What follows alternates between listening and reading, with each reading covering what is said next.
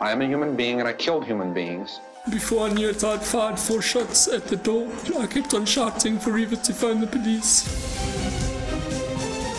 Tests are underway to determine if a serial killer is on the loose in Centurion, Pretoria. The dead won't bother you.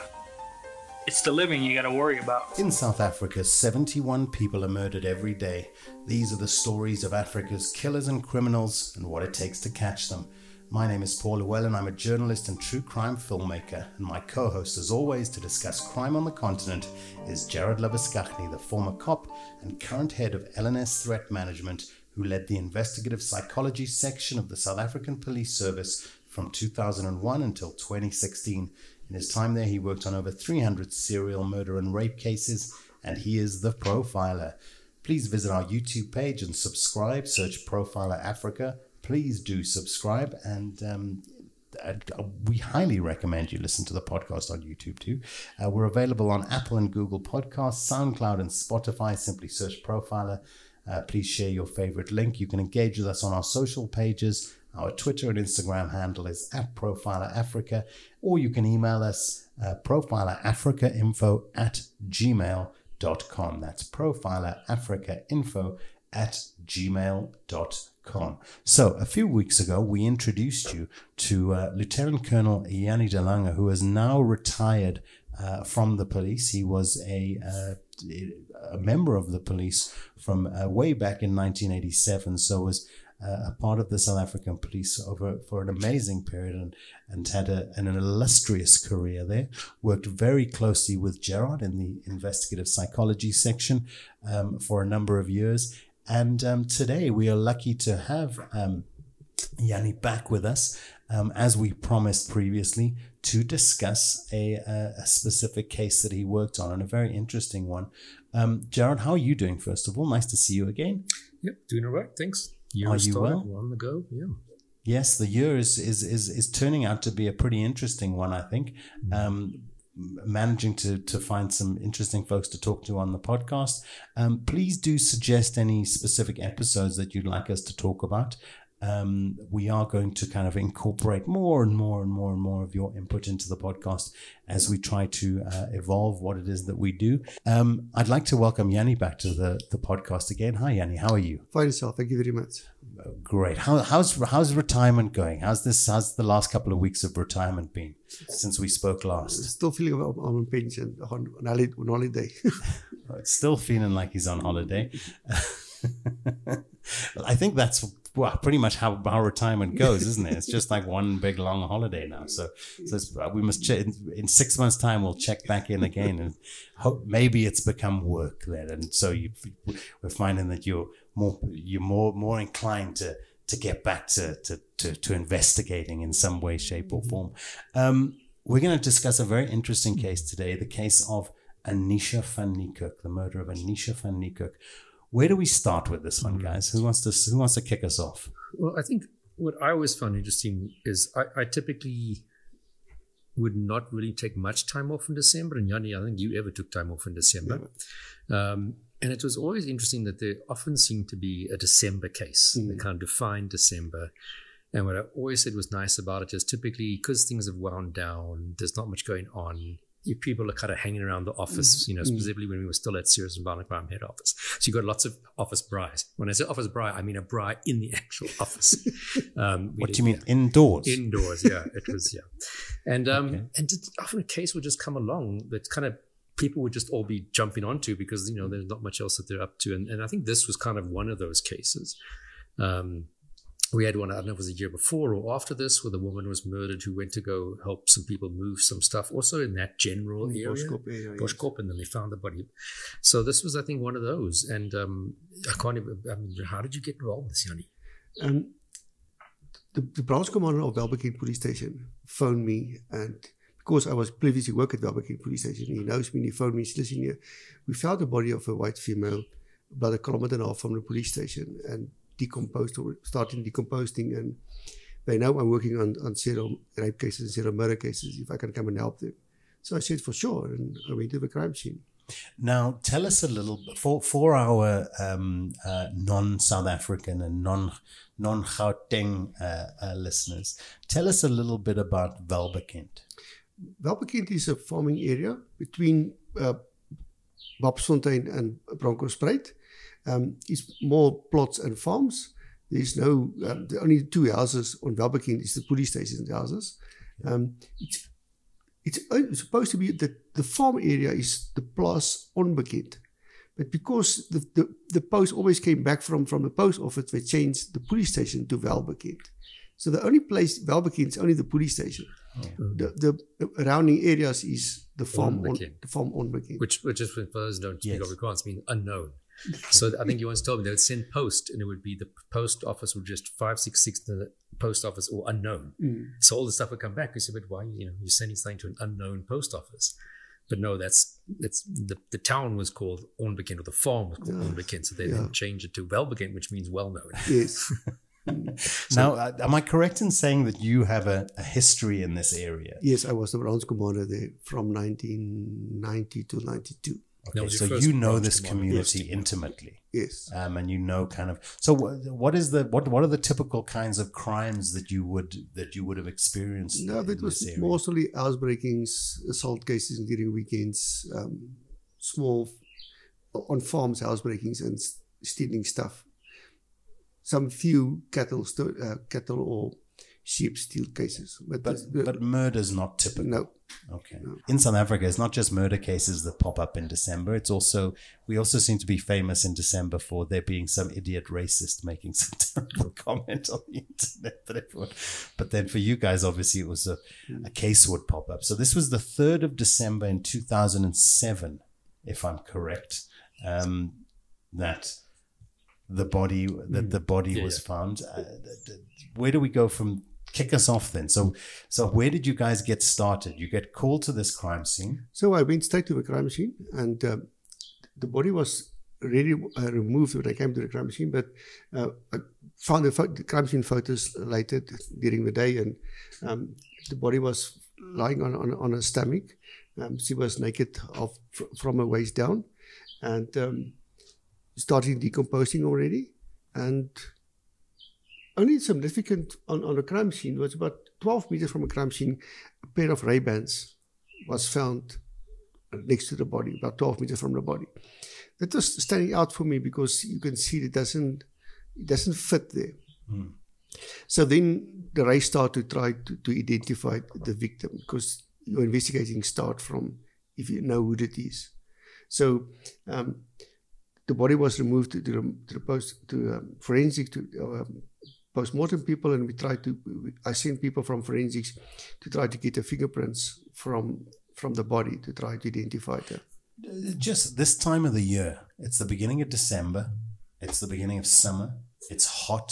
I imagine that Welbekend is particularly hot Yes. at this time of year. So, so just let's talk about when you arrive at. What are the first?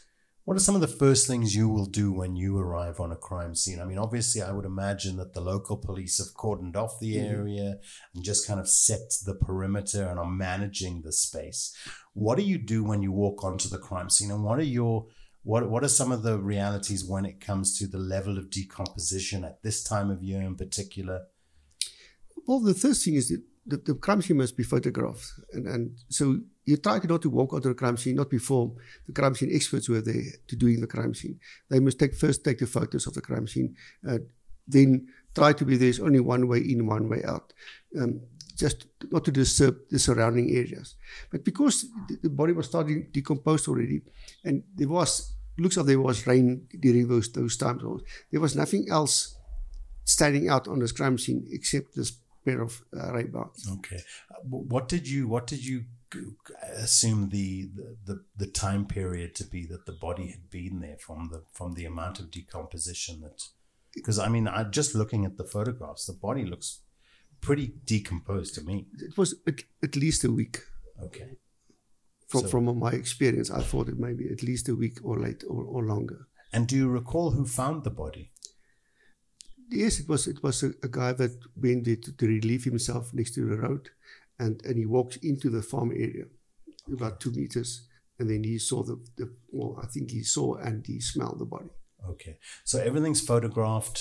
Um, the body is then removed to be, and you were at the point where now we're trying to identify who this person is. Yes. But at that point, I mean, you were you did you know you were going to end up taking over the No, investigation? no, You were just there, sort of assisting whoever Yes. was the docket carrier. that's right. Okay, so uh, everyone understands again. So a local officer would have been running the case already, essentially from the from the Welbekend station. That's right. okay, and then you're called in to assist. That's right. Yes. Okay. Identification. How did that process? How did we identify who the victim was? So we tried to get the fingerprints from, from the body and, and uh, running the fingerprints through Home Affairs, but we couldn't get any luck from there. So about a few days later, um, somebody phoned me from the station and said, listen here, there's a, a guy here at the station and said his sister is missing. And they want to take him to the body to show him the body. And I said, you can't take him to the body because th- there's nothing to show to them. So I said, only thing that you must do is give me, let me get me an ID number. So he phoned the mother, and the mother sent me the ID number. And through the ID number from Home Affairs, we identify her as Anisha van So that was his sister, uh, brother that was doing it. Yes. That's interesting because I mean, if, if as we jump a bit forward, I don't want to ruin that sort of information. This is a relatively far distance from where the victim stayed. So I mean, did he go to hundreds of police? Not hundreds. Did he go to a whole bunch of police stations? What happened is there was also a big up bus up on, on this from the start of the investigation. She was reported missing in, in Kempton Park, where she stays. And they were supposed to send the missing person uh, information to head office, but didn't happen. So only in, in Kempton Park, in, at the local places, a photo was up as missing persons and everything. And then the, the local newspapers put an article about the body that we found. And a whole story about this young girl was found a kilometer from the police station, decomposed. And he saw the article in the newspaper about a body was found at the Welbekend police station. That's how we came around. And that's how we get the ID numbers and we identified her as Anisha van die Would that have been because you then got a fingerprints from Home Affairs? Yes. And asked them to compare them to the crime scene That's prints, fingerprints. Okay. Okay, so that's nice that that happens because I always, I've always in my mind had the the kind of Home Affairs fingerprints database as not accessible to the police, but it is. If you know the right person, people to call, it's- it? Not, is if not, you- not official. Yeah. yeah. If you know, but but you Yes. got you know the person to call up. Like but I we think to discussed identify our bodies, you can't, they will allow the fingerprints to be run through their database, if I'm not mistaken. Yes, it's done, yeah. But otherwise, officially, no. officially no, For any other but- reason. Okay, but unofficially sometimes. Okay, maybe. okay, fine. Um, the, I just want to put this down to you had your ways and your means of accessing that database, which were perfectly acceptable at the time. Um, what were some of the other standout things from the body on the scene? I mean, the fact that, that I know Gerard often speaks about a, a body being found that's partially naked or, or completely naked, that there immediately start to be an assumption of some kind of sexual component there. Were there were there things like that that stood out about the body itself from the crime scene? Yes, and, and, and also the a a whole face was was was smashed up, so the, the whole skeleton um, skull was was broken, and then my point of view was also that she wasn't murdered there because there was no scuffle around it, like there was any um, scuffle around the crime scene. It looked like she was just dumped there. We're talking about a dumping site, so this looked like to me to a dumping site. She was murdered somewhere else and just left there. So there was no blood evidence or blood spatter or No. or disturbance in the immediate vicinity. Okay. Okay. Um, okay. Then wh- where do you go from there? So you've got So- a, an identified body. You know this is Anisha. Um, is this where you now start to find out more? Yeah, so then then it came out that she was reported missing on the 25th of November, Okay. on 2007, and we found her on the 3rd December.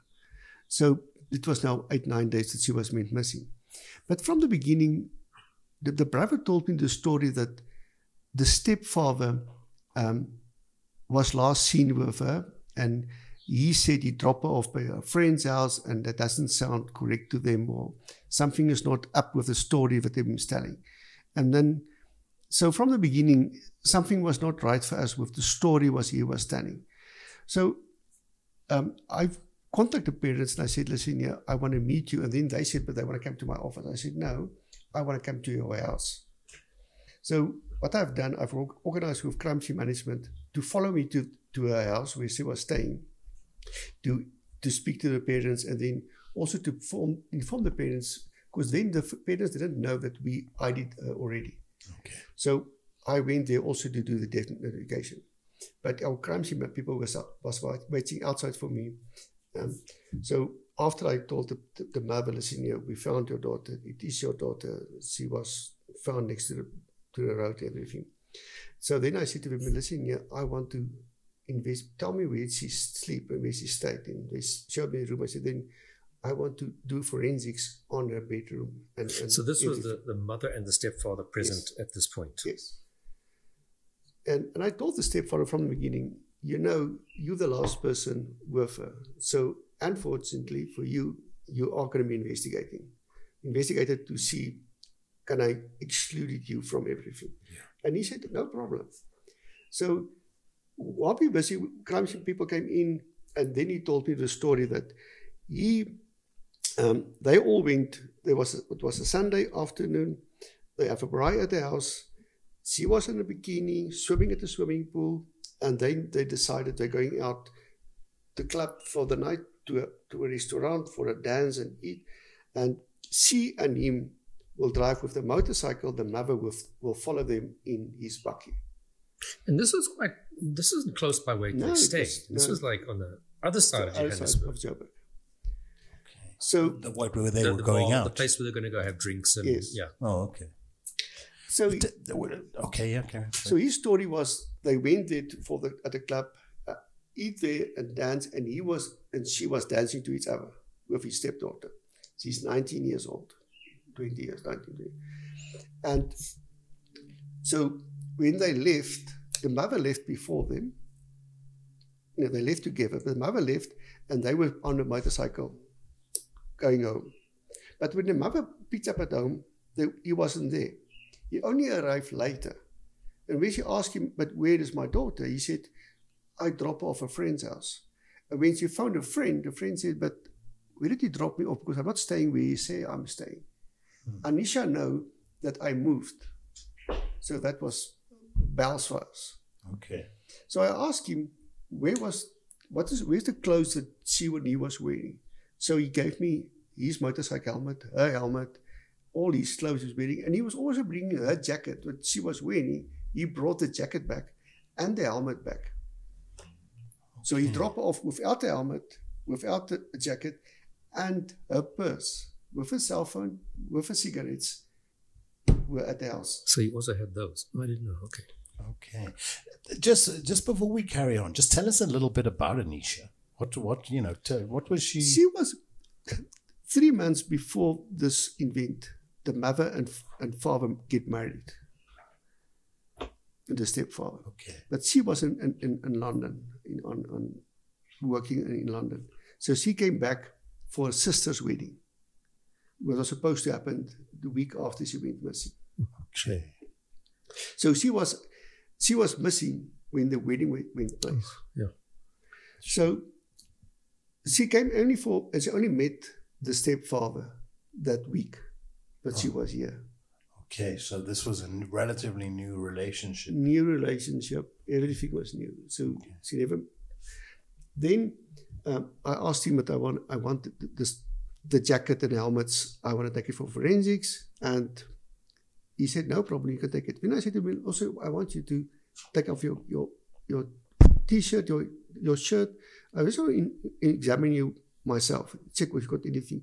And he got a one scratch mark on his back of his of his on his back. And I asked him, what, what is a scratch mark? He said to me, no, I was catching the roses and that scratched my back.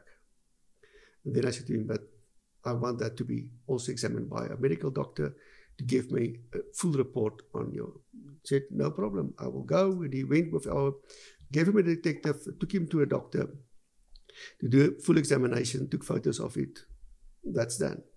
And um, I sent all these things to forensics, and now you must wait. Did, did he give you a formal statement? He gave me a formal statement, exactly what I'm telling you, the same thing, how he went there. Just a, this is so the, the, the gentleman's name is Gerard Stephanus Williamson. Tell us a little bit, you know, just describe him. How how how old is he? Uh, You know, and what is his general demeanor like when? So he seems quite casual. He was happy very to casual. cooperate. I can't remember his age, but I think he was in his mid fifties. Okay, Um, um, working from home, uh, doing selling uh, car parts to for someone else, like a rep. And his bakkie was there, what he was using with all these tools, with all his equipment that he was selling to people. But the story what I got from the from from her from the beginning was he's the guy that I'm talking about the girls, the guy with a tassie. The guy that comes with you with a tassie, he's only got a toothbrush and, and maybe a pair of pants. Yeah. He got nothing on his They'll name. come into the relationship. Coming into the relationship with nothing. Okay. So I always thought the guy with a tassie, then you must you must run. Yeah, yeah, yeah. So that was his story. But the first thing you you, you start, I got his ID number, so I draw his profile from our records, and then all the all the lights go on. This guy was involved in in rape cases, in in assault cases, Of people you knew cases. and people who were strangers or family. I mean, like, yeah. family members, his girlfriends, his fiance's girlfriends, children that he molested, he was charged for. I'm talking about 19, 20 cases.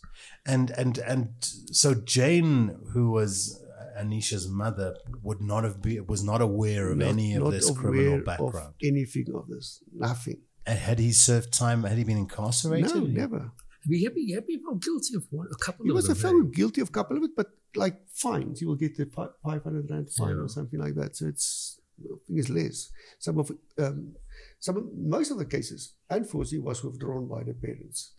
Parents will open the cases to five-year gold, girls. They listen here. When you have a bride, you will come in. You funded me. Some of the mothers didn't believe the children. Some of the mothers will open cases, but then will withdraw the cases. They said, no, we don't want to get the children go through this drama again with court mm. cases and stuff. But, but I mean, there's where there's smoke, there's fire. I mean, we always say if you've been arrested 20 times for assault, but you've never been convicted, mm. that you have an assault problem. I mean, I've never been arrested for assault. I'm sure you haven't, Paul, Jannie. So even things that don't go over to you being prosecuted, like domestic violence, how many times do you see people open up cases and it gets mm. withdrawn by the, the, the girlfriend or the wife the next day? So a lot of things do get withdrawn mm. doesn't mean it didn't happen. So that's definitely a huge warning sign, even though he's got not Yeah. convictions necessarily, or lots of them. The, but but the lesson that we're going to take out from this little part of the discussion is man with a tassie. Make sure you do a little bit of investigation into where this guy comes from, and uh, and find out more than just about the fact that he owns a toothbrush.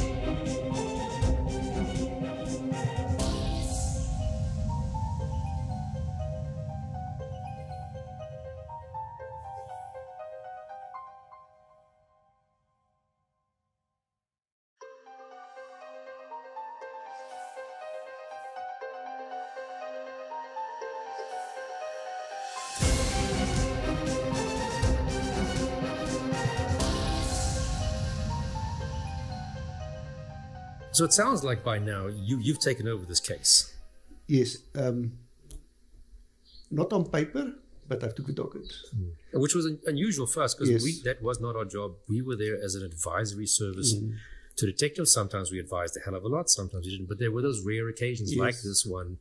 I think Quarry that The we Quarry. worked on, the Stalker case Yes. we worked on, where it just kind of Mulder's Drift, where it just kind of unfolded in that way Yes. that it would have been very impractical for us not to have and to try and start running around arranging another uh, investigating officer. It just would, and it wasn't necessarily because the IO was a bad IO. It just kind of sometimes we had the time and resources, and it just yeah. Yes, but we you know, never told our superiors that we're doing it because oh, it was it was not not not on. So as you say, we typically left the docket on. I remember the, the Stalker case. I think I had it actually transferred to Mike van, or Captain Mike van Aardt, Yes. who's very well known now, the Oscar Pistorius guy who investigated, who took over the investigation.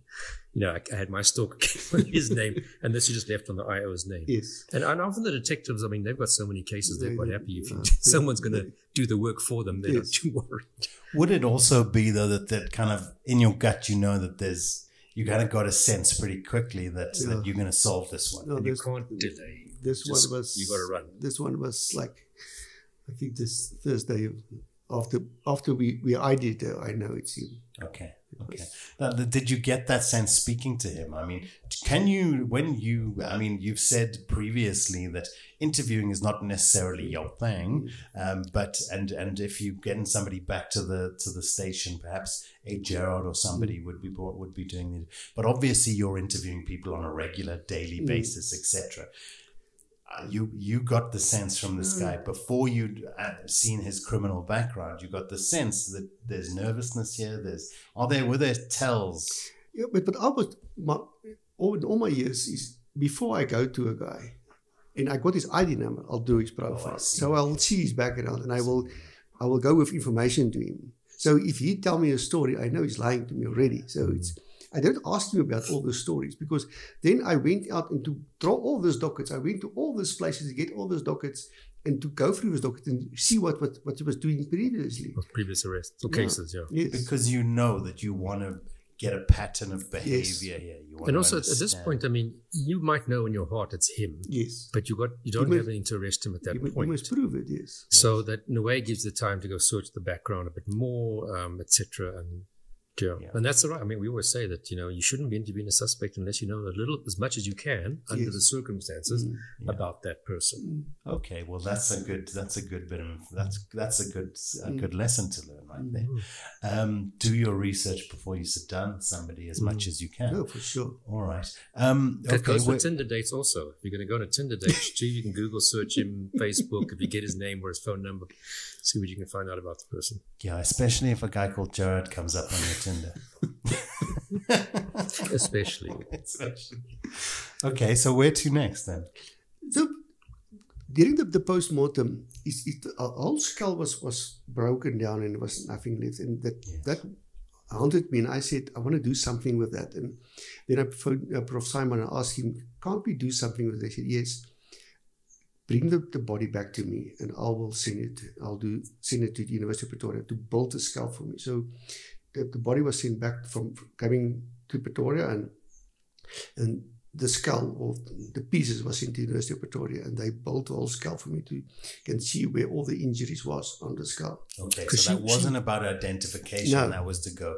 Let's look at what happened to this Yes. to this body. Because I mean, things you can often see like if there was multiple blows, you can often see which was the first or what kind of object maybe. But because it, she wouldn't have been autopsied at Pretoria No, or she would Bronkhorst Prof. Saayman, he would have Um, said, okay. Maybe there's another weapon used. Maybe there's a knife or a was- stab wound or a At the, bullet po- or something.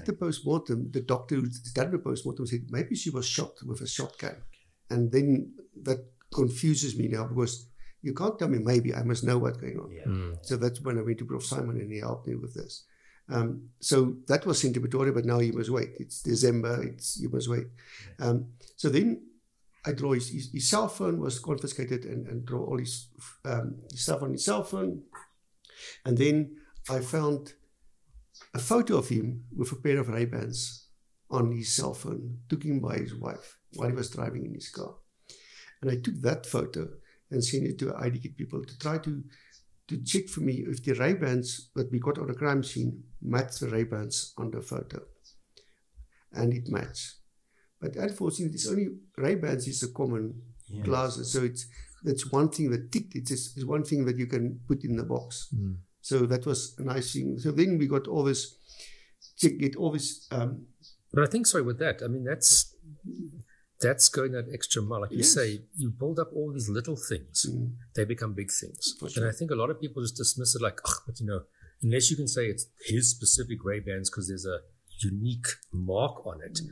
There's no point in doing that. You know, you never know how the investigation is going to turn and how such tiny little things, even if you were to interview him and you Mm. can say, those Ray Bans we know are the same kinds you wear, that, mm. that might be enough for him to confess, let alone adding to all this weight of evidence if you do go to court or to convince the prosecutor for an arrest. So circumstantial kind of stuff really does add up in the end. This is that again what we spoke about in our previous discussion, where you talk about to be a good detective, you've got to be creative, you've got to mm. think out of the box, because there is not a Ray Ban forensic specialist who only mm-hmm. And who regularly looks at Ray Bans as part of investigations. Mm.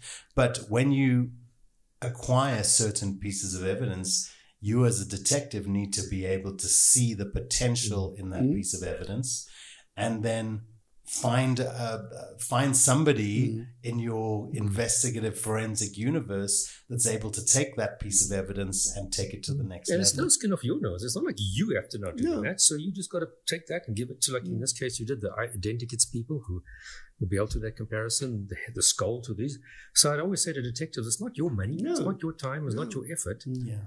Just you, your mm. effort is to find the person and take it there. That's it. You're the person who's at the central person who is creating those connections and bringing in Which the is why I always say that evidence to. be all be there, but if you don't have a, a good detective to put it all together, Yes. it's not going to be used. Mm. So that's why the detective is is so paramount in Yeah. actually the success of a case, no mm. matter how much forensic evidence you've got lying around. Mm. And also, we, we first we check for DNA and for, and for, for fingerprints. Well, there's no fingerprints, but we check for DNA. But because it was lying in in in in, in, in the veld for those for ten days or nine days, no DNA was found. on. So we first checked for that, Yes. and unfortunately, there was nothing. And then we done Yeah. So yeah, exactly. You go for the kind of standard stuff first, Yes. and then as you start to, as you discover not typical evidence, you start to apply more creative ideas to to the process. yes. Okay. So then I went to get all this, the previous cases of him, all the previous dockets, and starting interview all those people again. Uh, his his ex-wife, his ex-children. Oh, okay. um, so there came a lot of stuff out. But And I think we even was it like Christmas Eve, if I recall quickly that year, we were in Kempton Park interviewing, I think, friends of his for you to take a statement. So I mean, that just you know, the, During- you know, this Christmas this- Eve kind of doing that stuff. during this this time in, in, in this news article, it was a newspaper, and then it came out that Anisha was identified, the, the body was identified as Anisha, and she's now married to, to, to Gerard. Then I receive a phone call from a girl in Kempton Park. She's 22 years old, beautiful blonde girl. She said, It's him. I said, What do you mean it's him? She said, He raped, he molested me when I was a child. When I was five, eight years old, my parents never believed me. So she wasn't one of those cases that were on his No. register. Okay, well, And then that's the girl that we went to interview on Christmas Eve. Okay. Okay. So this is all about just expanding upon that kind of character sketch. And Of, she of gave this. me a full statement. And s- her parents was friends, were friends of Gerard, and they, they was at a braai. And she said, while the, the parents were outside, and she was sleeping, he came into her room, molested her, and she told her mother, and her mother said, no, it's yeah. So what you have here, then you're going, well, we've got a serial offender here who is essentially, Mm. potentially the first time that he's evolved to murder. Yes. So then um, we done all those things. Um, you and, and were in Durban to, invest- to interview his, his parents. Yeah. And um, Okay. so they done that for me. And What's, it, what's interesting, just on that, I mean, normally I think if you go to someone's parents and you say your son has committed a horrific crime, there's a bit of an element of, are you sure? There's no, I can't be, not my. They just like, mm-hmm, mm-hmm. And they, they, they didn't push it. And I was like, afterwards at Elm, it's like, it's very interesting that they aren't arguing at all. I see, you know, it's kind of the longer he's a very good investigating officer and and they just didn't at one minute say couldn't be my son. There's no way. Are you absolutely sure? Nothing. And i thought wow that i don't know it just kind of says a lot to me you know Yeah, absolutely. there was no So attempt the, to where were the pair? Where where was he from? well they were down the, just south of durban somewhere like Okay, toti or something in the, that kind of area if i recall correctly back then. I mean this is you know many hmm. years ago.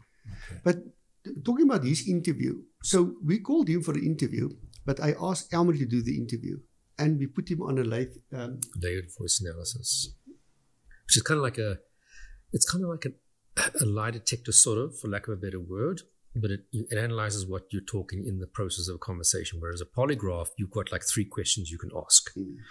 But a layered voice analysis, you can have like a recording of this right now.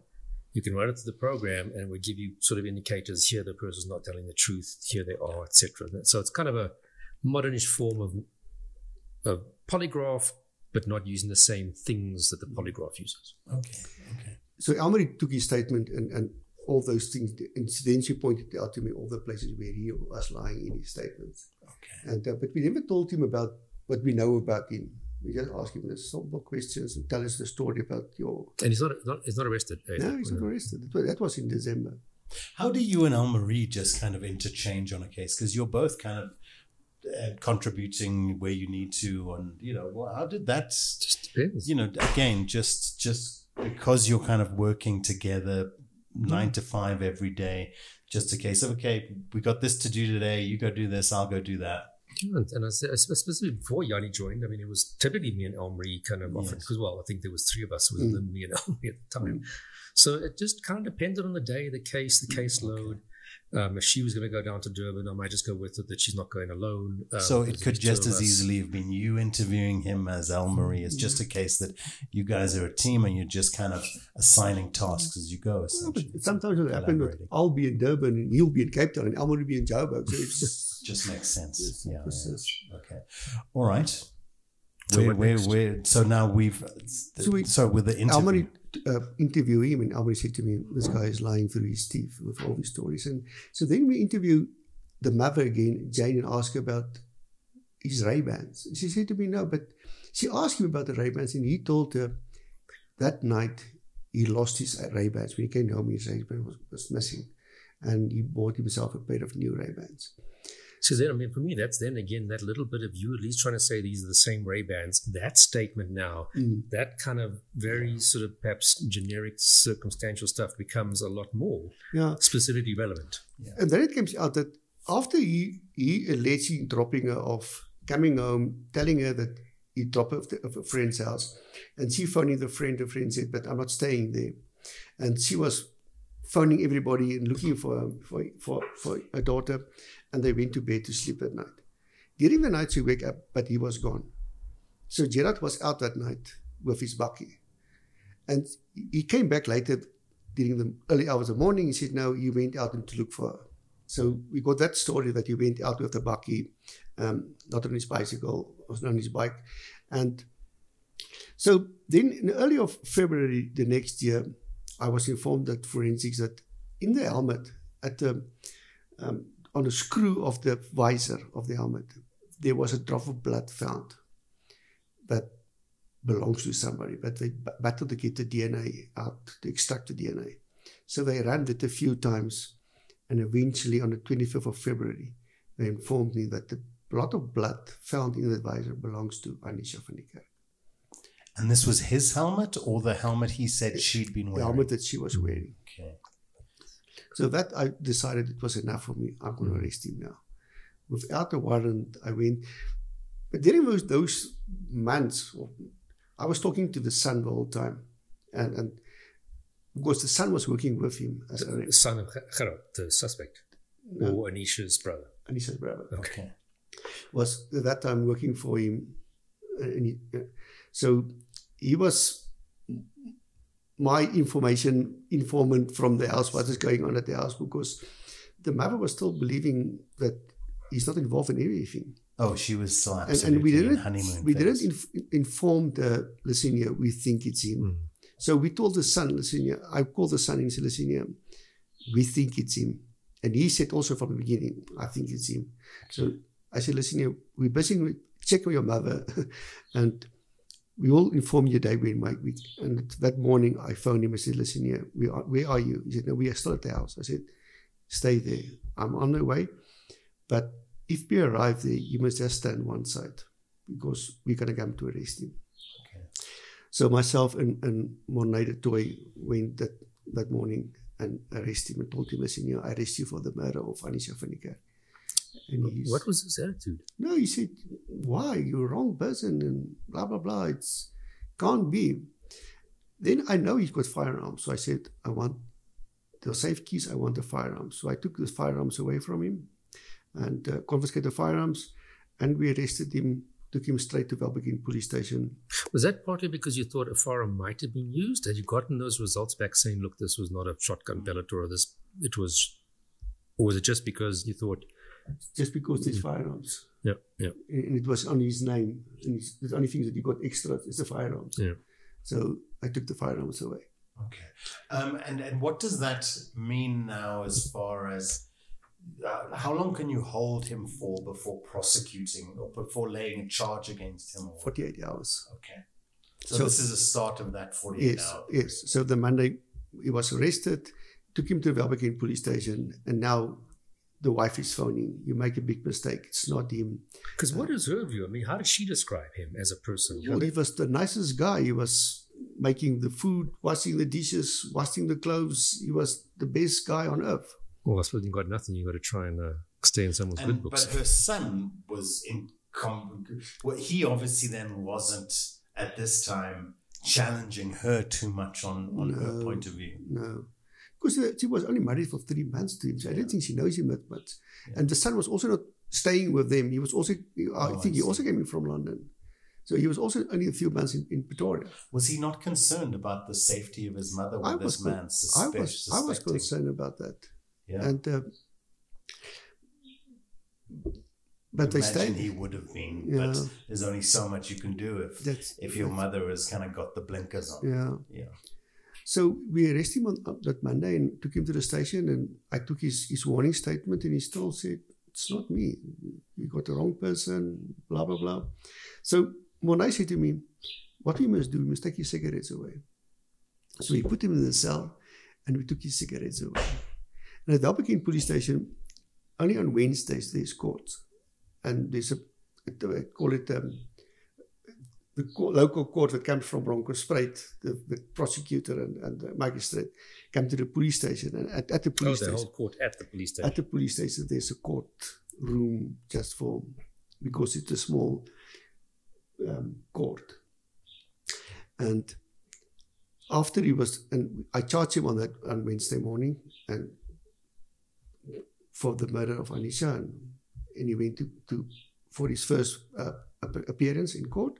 Did he have a lawyer yet? Did he get a lawyer? No, that guy time haven't got a lawyer, nothing yet. And um, so when we were finished, that his, his case was was remanded for seven days. And when he called, came out of the court, he said to me, "I want to talk to you." I said, "Okay, but I must still take him to my office." I said, "But you must still, I must warn you of your of your your legal rights you got." Things. He said, "No, He's still in custody still in custody." He at the station. He's not sent to the. no, still at the station. He said to me, "No, I want to confess." I said, "But now, okay, now I must stop you again. I must warn you about your your rights, everything. But if you want to do, I can organize for you to do it in parcel, pointing out and everything." He said, "I'm willing to do it. I was just want to get it off my chest." So again, just recap for those of you who hadn't listened to us before, maybe the pointing out is where a person, for example, wants to confess. You have a couple of options. You can either say, we're going to take you to a magistrate, and then you'll tell that magistrate everything you want to, and magistrate goes through all the legal warnings, were you threatened, were you promised anything? Or you can get an independent officer, meaning someone from the rank of a, say, captain, when we say officer, upwards, um, commissioned officer, who doesn't know anything about the case, didn't attend the crime scene, didn't doesn't know, didn't hasn't read the docket, nothing, who then arrives and basically you hand over this guy to that officer, and then he says, goes through all again the legal requirements. Were you threatened? Were you promised anything? Blah blah blah blah. And he says, right, I don't know anything about this case. I believe you want to show me something or tell me something. And then the guy would say, yes, let's get in the car. I want to take you here. I want to take you there. Show you this. Show you that, and confess. Well, that's usually what happens, and also show you things. So it's a really great tool to use in court if the person doesn't plead guilty because he's shown you things that only the suspect would know. And of course, said things that because that officer wasn't involved, the officer shouldn't know. And that's what he's now agreed to actually do. And all of that information is by the book. It's Yep. legally sound and solid and will If hold it's up done in properly, court. it's fantastic. And I haven't come across anybody else in the world that does it in the same way. The Americans will sometimes do a walkthrough, but Mm. the detective does it with the suspect. So I don't know how evidentially Mm. we're in South Africa. We, we do it this way so that you can't argue, but you're the detective. You took me to the scene. Yeah. You told me, you know what happened. You've written everything down that you mm-hmm. said. It's not my words. So this is a mm-hmm. great way of, if it's done properly, mm-hmm. you can show that it, this person, the people doing it weren't contaminated by other information. It makes you think about those cases like gr- like something like a Green River case in the states where you've seen, you know, they find the guy and then they take him out. So you're saying that chances are that they're not doing it. Kind of, it's not as independent potentially. I mean, the it's, actual it's a great way to also to It's try and avoid false confessions because you can't take people to a crime scene if you in, to that specific spot, specifically a crime scene out in the veld. I mean, even if the bully cops were saying it's two kilometers down and in the bush by two meters, you're never going to get that right if you were actually at the scene. Yeah, so it really is a great way also to rule out false confessions. So uh, I found Captain Hendrik Verloon and he um, agreed to do the pointing out for me. So uh, Captain Verloon came and, and took Gerard from, from us and um, Gerard, just want to make sure, not me. Yes, yes, yes. And, uh, Gerhard.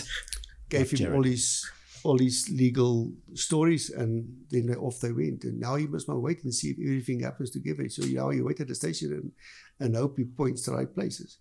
Um, they a lot of hours later they arrive back at the station and then they must first do all the paperwork again, sign, take photos of everything, book him back into the station, and then Heinrich came to me and said, "No, this is the story that he tells me."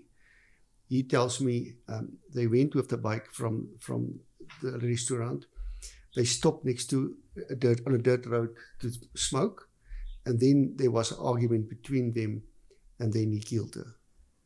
He left her there, went back home, told the story to the wife about dropping off, and later at night he went with the bakkie, took the, the body of a. From from where you initially left it. where he left her, initially left her next to Kempton Park, drove to Welbekend, over the fence, and dropped the body there. So, did you have a crime scene with any evidence? No. Did you find any evidence at the murder No. location? No, So he did point out that murder location made it in that process. point out. So um, from there, he's, he said he went back again and took a cloves. And if that cloves he took back to their house and burned it in their braai. And Where they normally buy meat. And, yes, you know, we know by beat, burn, burn her cloves, and that is his story. Uh, would you? That, that that sounds like that sounds like a. He's trying to evade, mm. trying to to to to to not own up to the sexual component. Yeah, absolutely. Is that that? Yes, I mean, you want my opinion? You tried something. Yeah, and sure. she said, bugger off. I, I do agree. You probably said, let's just stop and have a smoke. Yeah. Okay. And I pretty much think he tried and he didn't get his way. Or did probably or did Or sexually assault went her. for- he didn't get his way, so he, he forced his way. Yeah. And Yeah. yeah, and then yeah. Okay. Did you find any? Did you invent? Did that lead you then to take a look at the braai? Oh, but it was no. Yes. yeah. Two, two months later, three months later, there was nothing there. And they'd used it. And they used it again in for between, price. You know, So I mean, how just what a horrific thought the mother Yeah, these are those kind of morbid aspects of the case where you're like, So at that night of the the mother was just phoning me and said we can't be. And then I went back to that house and, and informed uh, listen here, we arrested him, and I got his Ray Bans, and I showed the Ray Bans. I think that's the only time that she started believing that we got something. yeah. When and, I- did you, and you told her that, listen, you did a, he did a point in, she still not believe. No, but I, then she she started to believe it. Yes, no, she started believing. When I told her, he pointed us at everything. That's why he was out that night with the bakkie. He went to to move the body. Um, then she started believing what you're telling. Tom. And what, what, what, uh, you know, how does her demeanor shift there? Because it's almost like somebody kind of starting to realize they were a part of a cult or something, isn't it? It's like when she was she was devastating now for months. For, uh, till today, she's very devastated about the story. Yeah, because uh, you don't know you don't know who you're inviting into your life, and if you Mm. trust them, and then suddenly imagine she that feels trust that is this broken. is my fault because this is a guy I brought into the home who did this Exactly. to my daughter. I mean, Yeah. that, which is not obviously fair on her Mm. to feel that No, way, but I can imagine that as a parent, that's what Mm. you'd feel. yeah, the trauma for sure. Mm. Did, did Um, they ever speak? Did she ever speak to him? Bef- oh, I don't want to jump too far ahead. Did she ever go in after this, go and speak to him and say, no, but his ex-wife went. Was his it? ex-wife and, and his own daughter went to speak to him at the cells. And then he confessed to them. This before he told you, listen, I want to confess? No, it's after he confessed. Okay. After he confessed. Hmm. I think that was that Wednesday. I think it was the Thursday. Yeah, this day after the confession, they went to the, to, to the cells to In Barbara Kent. yes.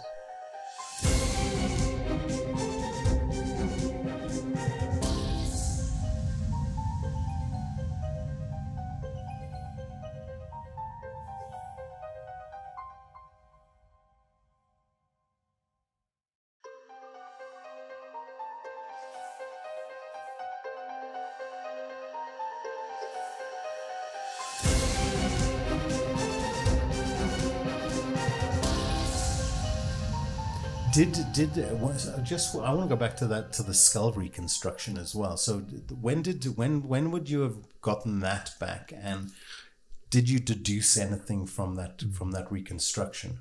Oh, they gave him a, a, a report on it and said what they think happened. So, so they said something, there must be like a big rock of something that was used to break the whole skull. Because I was thinking maybe the helmet was used. But Prof. Simon also said no, the helmet wasn't, because there was no damage on the helmet. So hmm. we don't think, we, we know it's not the helmet, it, it must be something harder. But, and he said to, to a pointing out officer that he used a rock. But you couldn't find anything on the scene to corroborate with that. Oh, I see. Hmm. Okay, so the murder weapon was never entirely ascertained, but it was that head trauma that killed her. Yes. Okay. And of course, they couldn't determine rape because of the extent of time that Yes. the body was decomposing for. You know. But I mean, naked from the waist down. Yes. Yeah. You know, I'm, I'm going to draw some very clear conclusions from that. For sure. Well, yeah, and and I mean also the the the actual the mortal wound sound hmm. like you get the, he's getting the the added benefit from hmm. his perspective of hmm. covering up an easy identifier or dealing with an easy identifier. Maybe that's also a part of. of- well, potentially, to, I mean, would you have thought that that he's trying to kind of just mask who this who the victim is initially? Yeah. Where was the destruction? The front of the face? Or the, yeah. Okay. But I'm also just wondering, he's transporting that body after the murder to the Welbekend. Was there anything on his bakkie oh, forensically? No, nothing. Okay. His bakkie was clean, clean, and it was full of when we went there, it was full of of equipment and hmm. stuff. They, they're selling it, so it there was nothing, Nothing on forensic, it. We okay. checked it for forensic, but we couldn't find anything. Okay, so now he's he's locked up. How does that? How do how, the trial? Then now we go to we move to actually getting this guy locked So up. So the next day, on, on the on the Thursday, um, I asked if we'll do a f- full confession through a magistrate. So, So he he's said, done the pointed out, but you want to Yes. back it up with the confession in front of a magistrate. Yes. So the next day, we took him for a full confession to Calendan Court through a magistrate, and he told the whole story again. And did it match basically the pointing out? That's version? Okay. everything. That's everything. What what we got on the pointing out, Hmm. hundred percent. And So th- so I mean, this doesn't then need to go to a to a long trial, does it? I mean, how does this then kind of go through the process? Is this like, here, judge, here's all his confessions. He's guil- you know, he's pled guilty. Next day, you get him. Well, you under get a, normal you get a, circumstances, Jannie's going to tell you what actually happened. Just but for the listener, you know, you only use a confession or a pointing out. That's obviously at the moment in time he feels I'm so guilty. I want to tell you what happened. But you know, when you actually then a month or two goes by, you're getting ready for whatever. Oh no, I've changed my mind. But now I've got this bloody confession, so I'm going to have to say that the guy's threatened me, forced me, whatever. Yes. So you only actually, if a guy continues to say, I'm going to plead guilty, then his lawyer would draw up a, what we call a proper guilty plea in mm-hmm. terms of the mm-hmm. Criminal Procedure Act, which is done in a certain way with the assistance of the lawyer. You have to acknowledge certain things, um, and it's signed by this person. That's a guilty plea. Then you don't need the confession, you don't mm-hmm. need the pointing out, because that, that guilty plea compiled by your lawyer supersedes then any other document. And that's enough then to say, right, we're not going to have a trial, boom, you're guilty. But typically what happens in other cases is the guy changes his mind because he realizes, yeah, it's actually quite not so nice mm. being in a cell or be going to prison and or whatever. And they decide, no, I'm not going to plead guilty. Then you have to start calling all the mm. witnesses. And of course, one of those pieces of evidence would definitely be that that either the confession to the mm. magistrate mm. or the, the um, pointing out becomes a, a crucial evidence. But that's when the person says, no, I've changed my mind. So did was he a change my minder? What happened in this instance? no, that was the Friday morning. I got a phone call from the police station. and He hanged himself in a cell, committed suicide. Okay. How do you how do you feel about that when when a, when a perpetrator does something like that? Well, the case is closed. um, in, in, in my career, it happens a few times. So there was your guy that committed suicide. Um, the The Mori Mori guy was was murdered. Um, And but they did that after they were found guilty eventually. You know, what, the stalker guy did it after his conviction. Modimolle guy, I think he was convicted. yes, the guy from from from Rustenburg, he was in, in hospital after they shot him, Mhm. and he escaped from prison, hanging himself outside the gate. So it's there was a few cases in, in my career that guys commit suicide. because it's it's always a funny question because it's you know I think if it's after the trial when the facts are there the families have got the best answers they're going to get. Yes. I don't really care if a guy mm. commits suicide. I think in this case what I think is Yes. good mm. from our point of view he did a confession he did a pointing out. There's no there's very little questions the family could have besides mm. but why did you do it? You know we know what he did and he's he's owned it up. I did this this is how it played out I well, I don't really. I'm not going to do sleepless have sleepless nights about that. I think if he did it before, then it's one of those things like you bugger Yeah. because now the family is still going to always have that mm. those naggers as to, but was it really him? Mm. Or you know, you still leave scope for for parents and families' minds to wonder. Here, I think he kind of closed off those gaps. So, you know, I'm not going to have sleepless nights. But Yeah, under so the- circumstances, I feel like if you do it before the trial, you're robbing the family Yeah. of that opportunity Totally. to get the mm. facts put on record Yeah. for themselves. You know, not, not, not court record. So, so I mean, what's what really stands out from again with these? How often do we come across these cases where it's just again a, some really interesting, creative kind of detective work that has been applied? I mean, this case, like you say, was solved in how many days? Did you wrap this up? Do you think? I mean, really, in a kind of, you know, practically, it was a few days, and you were pretty sure you had the guy, and then it was a case of just doing the work Yes. to, to kind of, and that took that that takes a few months to get through the process. Um, uh, uh, uh, but yeah, I mean, essentially here again, it's it's it's it's in those initial few days finding those key pieces of evidence, being creative and about about how you're going to apply mm. kind of your detective work mm. to those pieces mm. of evidence, and then getting it all wrapped up. Um, this must be one of those cases that, when you talk about the December cases, gives you the opportunity to kind of like celebrate Christmas Day with a little bit more of a "Ah, okay, okay, I, I deserve this day. But but after he hanged himself, the case is not over yet because he must still go to court. Okay, he must still do a Inquest. inquest On his death, on his death. No, yeah, Oh, I on his death. Which wouldn't be, I mean, that's not you to investigate. That would be someone separate. Eh? No, inquest on her name. Oh, on her. Oh, On her. Okay. okay. So we done an inquest on her because the whole docket must still go to the prosecutor, the magistrate, to decide was everything done Yeah. in this case. Okay. So we call it a, a inquest, and it's a eventually a J fifty six must must be issued by, by the magistrate. So in this case, a, a formal inquest was held. So all the all the statements was read into the court dockets, court records.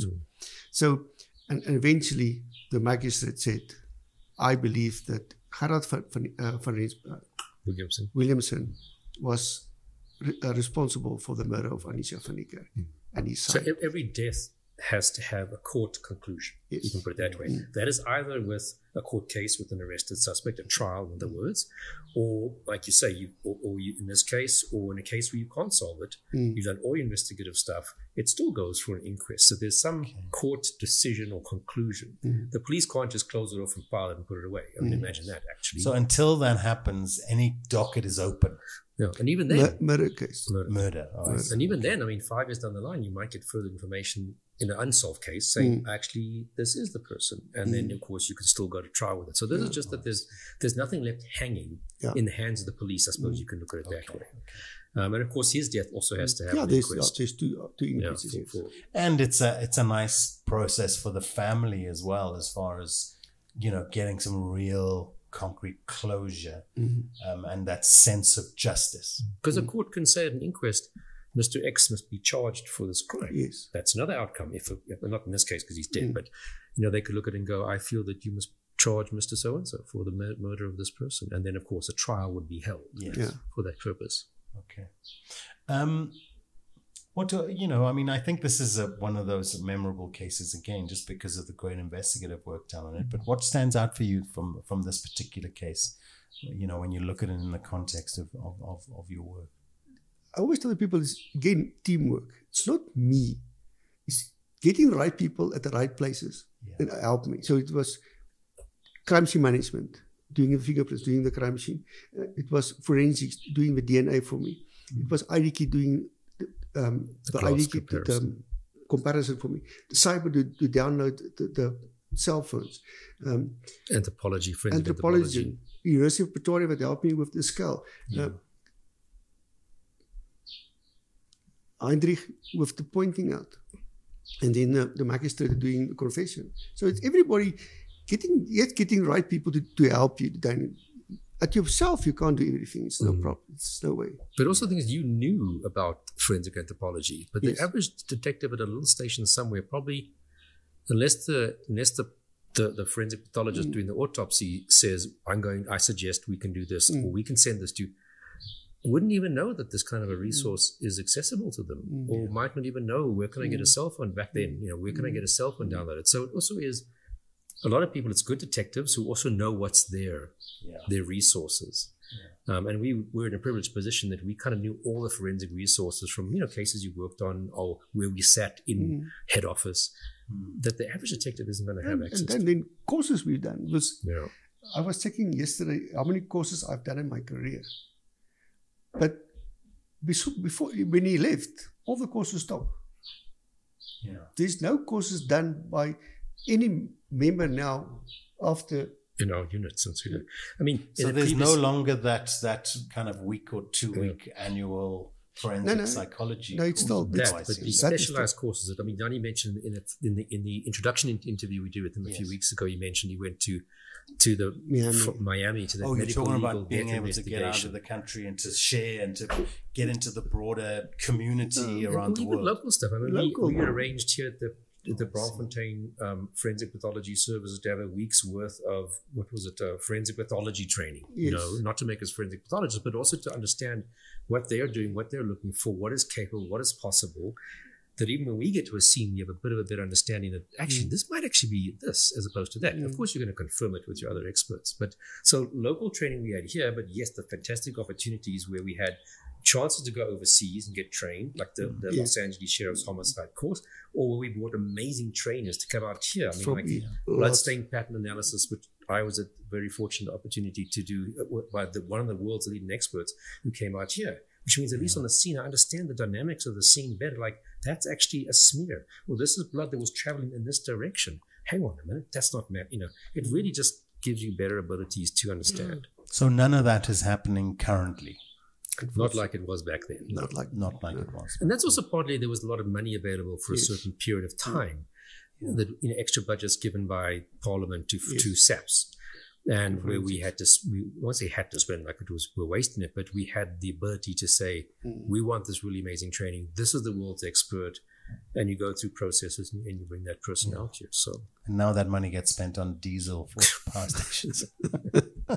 other things, you know, caravans for defense co- for generals. Apparently, I see the guy. Mm. Oh, apparently, other age they bought him almost a million rand caravan that a whole bunch of bases had to donate money for. Allegations, of course, at this point in time. Oh, Mm. Yeah, I just Oh. was reading that today. okay. Um, but I think, I mean, it's, again, it's this hard work by a detective who knows what's out there, knows what he wants. A lot of detectives would have said, no, man, this is too vague. It's too much of maybe, maybe. But, you know, by hard work, you make maybe, maybe a reality Yeah. by doing, putting in the effort. But if you're going to, always investigate by negative assumption. Well, it's a Ray Ban. Lots of people have them. It's pointless. You know, well, we're never going to find anybody who would have seen anything. We're never going to. Just then you can investigate a zero on any investigation very quickly, very There's a lot of cases where the people said, oh, it was luck you found this. But I said, luck, you make your own luck. If you go and look for it, you, you must make your own luck. You don't get lucky sitting in your office. Yeah, it's and and go back to a crime scene. The body can be can be gone. It's no problem. Go check. Just go check for yourself what's Right. going on there.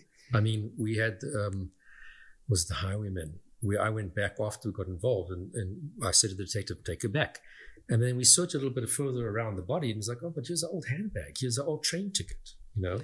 So if you just go there, do the minimum, don't look broader. it- it's also not to, to, I mean, I would imagine this is not, it's not that you're, okay, now this case comes along that all day, every day, you've got to now be working really mm. hard on this one case. It's about in that initial period, Yes. Putting all the, mm. putting all your focus, attention, mm. and your, and really attending to as much of the mm. micro detail as you can in those first three or four days. Yes. and setting the path for the investigation for the next three or four months, which will go, okay, so sunglasses. I'm, that's now part of this initial investigation, but now that's going to go and it's going to, and I'm going to monitor that piece of evidence until it gives me something mm-hmm. that I can apply to the case. So it's about a little bit of condensed work and then let it, once you've set the mm-hmm. tone, the case that's why murder.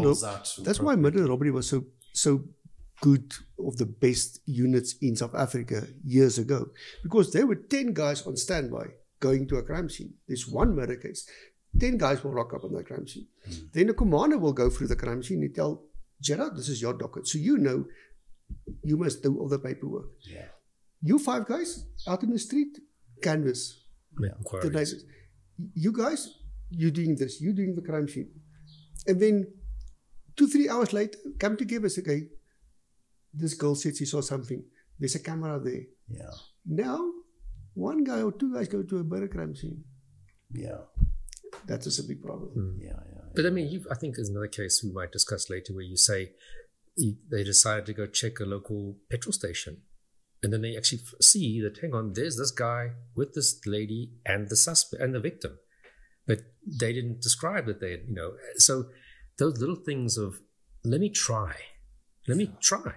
I mean, it might not work out, that's fine. But hell, it's amazing what you can find when you hmm. try. Is is that not kind of is that is that a challenge now because of the number of investigators that are available to go out and do stuff, or is it about the, or is it more about just the lack of the lack of good experience and lack of uh, you know there hasn't been enough of it, you know there's been a bit of a brain drain and there's not been enough of a handing on of the right kind of knowledge, or is it think just numbers and, and I don't know, and you can give your thoughts, but I think it's a workload, yes, limited amount of people, but also had a lot to do with motivated to be doing the job. Have a commander who's going to be that mentor, checking if you've done it and suggesting things you can do that you might not have thought about.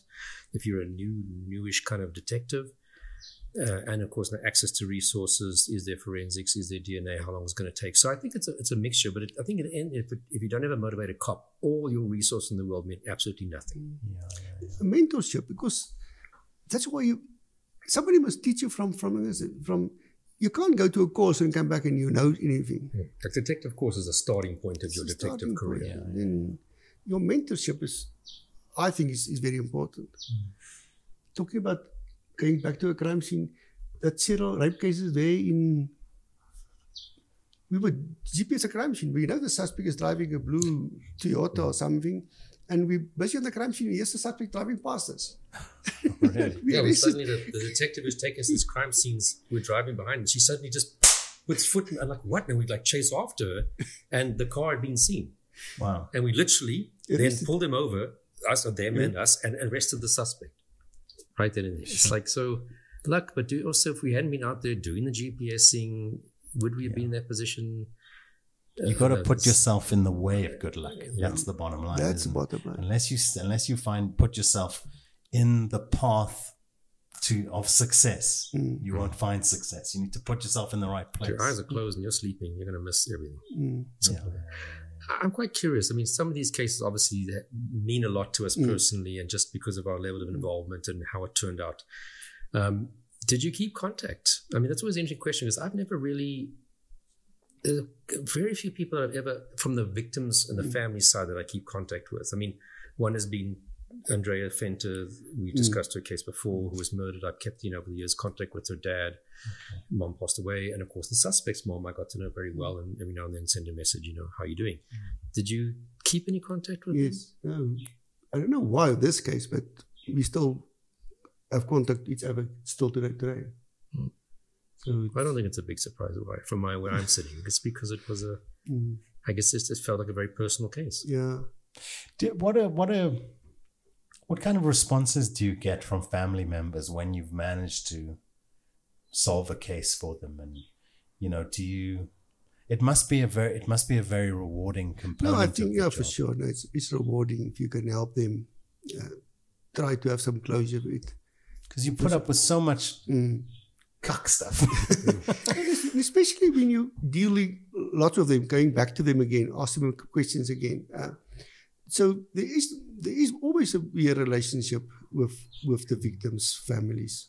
Because I mean, uh, the one is weird because we're happy when we caught the guy. We're excited. We're mm. happy. We're mm. elated.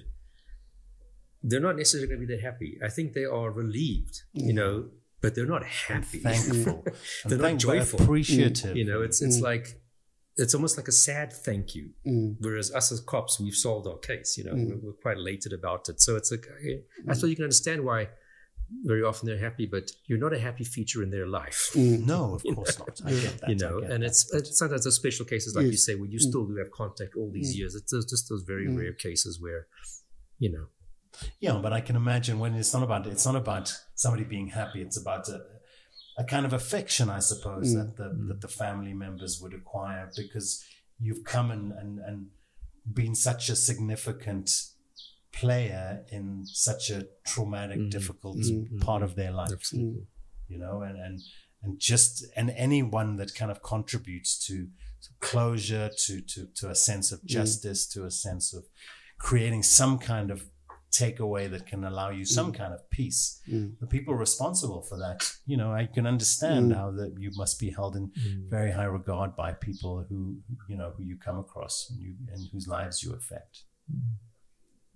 So, you know, there you go. There's a good motivator, guys. If you want to get into law enforcement, it, you know, we're always we're often talking about the hardships and the difficulties, especially in the context of the police today. But never forget that there is there, uh, you know, knitted into this kind of work is is a is a you know an ability to make a contribution to society that is really really profound and meaningful. And the reward that you can take away from that i can imagine is you know it, it contributes to to you living a, a pretty rewarding life. You know?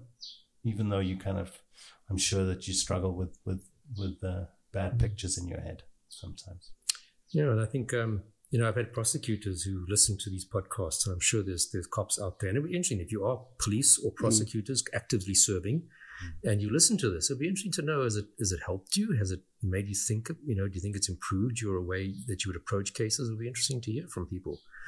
Um, I know Henry Horn, who, who won one of our previous uh, competitions. He's actually a, at then he was an, an aspirant prosecutor, newly appointed prosecutor, going through the training, and I think he's now finished that and he's working and prosecuting. And once or twice he's phoned, "Hey, I've got this. Who should I speak to?" And I've referred him on to Colonel Fiertenberg in the past.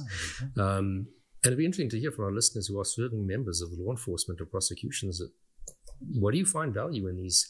In, in listening to these podcasts, it would just be interesting to see how that's maybe affected some people's work absolutely that would be for nice forensic pathologists. yeah so we can feel be. some some so i can also share in this feeling like like i can also take some reward out of i'm making some kind of a contribution to society Absolutely. to the world.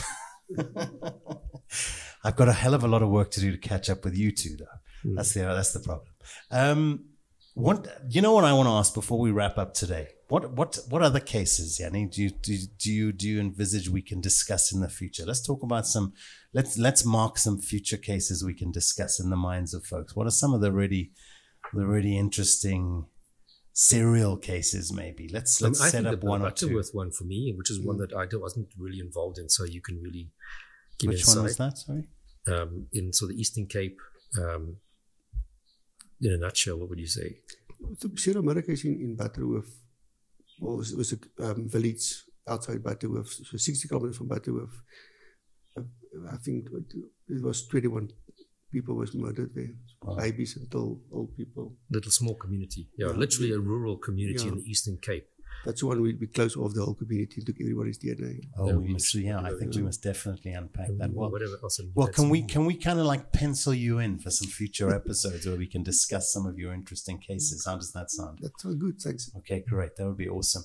Um, uh, other than wrapping up now, do you have any other final comments that you want to make? No, I think it's just again a great opportunity to hear from the people on the ground who are doing some amazing work over there that we haven't been able to hear from mm. because of SAPS's reluctance to let people be It's- interviewed. It's nice to see you guys together again. Look, I mean, this is a bit of a kind of a, a work reunion, isn't it? I mean, we could call this work. You know, again, we're mm. contributing to, we're sharing information and mm. knowledge with people. Nice to see you guys back together. Is it? It must be. You know, it, you guys must miss the days when you were running around the country, For sure, solving cases, getting into, you know, having braais. Drinking lots of red wine. yes. Yeah, yeah. Well, I'm glad we found a found a reason to, to to bring you guys back together every now and again, mm. um, around the the stuff that that that kind of bonded you together in the mm. first place. All right. Well, thanks, guys. I mean, this was great. It was lovely to be able to kind of get into the. I always love getting into the detail of a case, and I'm sure our listeners do as well, when we can really kind of go through a case. And it's always interesting because inevitably in these cases, we find these really unique pieces of evidence or these really unique directions that a, that a, that a, that a case took that again shows what incredible investigators, what incredible minds, what great uh, technology we have access to in the police. Unfortunately, right now, it's all a little bit, it's not maybe as streamlined and as effective as and efficient as it could be. But I think these discussions remind us that there's always there's always hope for law enforcement in South Africa, and that we do have a, a good skill set, and cases do get solved um, well, and um, hopefully that can, yeah, be more and more like the the the the reality for us here in South Africa when it comes to law enforcement that um, more of these kinds of cases and more of these kinds of investigations that are really successful are a part of part of the world we live in. I don't know. Mm. Um, thanks very much, guys. Um, Jannie, it's always a, it's a pleasure as always to have you on the podcast, Gerard. Thank you so much. Um, thank you very much, guys, and um, have a lovely rest of your day. Thank you too.